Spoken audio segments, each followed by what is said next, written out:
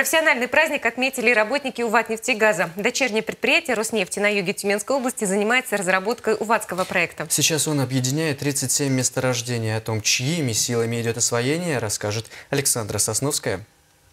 10 миллионов тонн ежегодно в течение 10 лет. РН «Уватнефтегаз» уверенно выполняет свою задачу. В первом полугодии 2016-го объем добычи нефти на Уватском проекте достиг отметки 5,7 миллиона. Рост произошел благодаря вводу в эксплуатацию четырех новых месторождений. Это за последние два года. Пробуренной скважины идет добыча нефти. Это Протазановское месторождение имени Малыка, Южный Гаврикск, Западный Паска. Вот это все набурил наш коллектив вместе с боровым подрядчиком.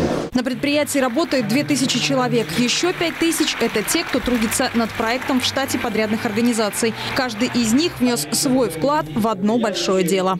Когда вот летишь на, на вертолете, видишь, сколько сделано, сколько еще нужно сделать. И гордость за то, что вот э, это все мы сделали. Это люди, это руки людские, это работа, это труд. В этом году РН «Уватнефтегаз» стал победителем регионального этапа конкурса «Организация высокой социальной эффективности». Компания старается не оставлять без внимания ветеранов войны, коренные народы Севера и, конечно, пенсионеров отрасли. Именно они создали крепкий фундамент, на котором сегодня стоит ведущее нефтедобывающее предприятие региона. Мы с трепетом продолжаем нести ваши традиции, которые вы заложили в свое время, и нести те ценности, которыми мы сегодня гордимся.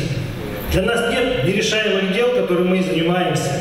Спасибо вам еще раз от меня, от всего коллектива. С праздником нефтяники Тюмени! Александр Сосновский, Алексей Красных. Тюменское время.